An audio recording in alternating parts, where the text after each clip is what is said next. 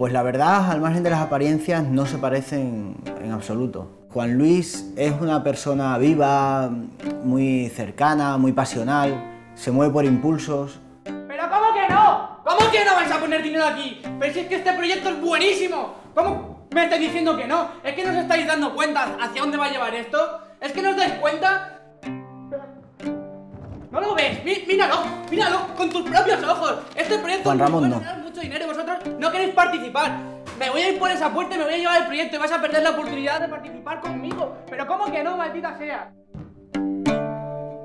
Sorprende ver cómo dos personas que quizás nunca hubieran tomado un café hubieran acabado colaborando juntos. Si yo no conociese su historia, me hubiera costado trabajo creer que podrían crear juntos algo tan sorprendente.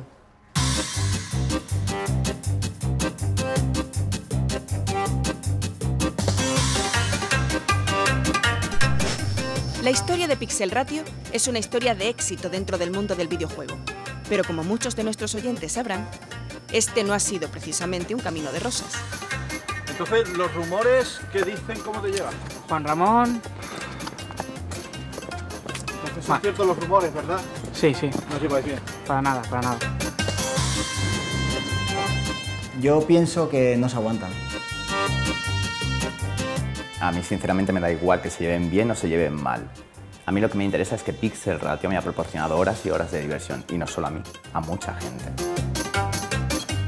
Parece ser que esa diferencia ha resultado ser compatible y muy muy complementaria. Los personajes, los mundos, las historias creadas resultan ser novedosas, ricas en matices, sorprendentes, que probablemente sea lo que el consumidor necesita encontrar.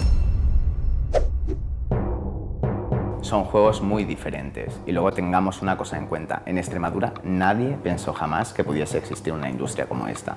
Y ellos han sido el motor de todo.